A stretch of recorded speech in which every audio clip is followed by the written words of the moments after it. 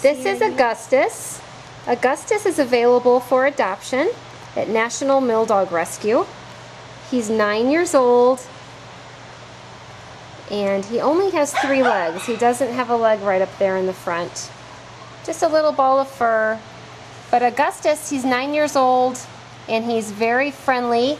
He loves sitting on a lap and he gives kisses.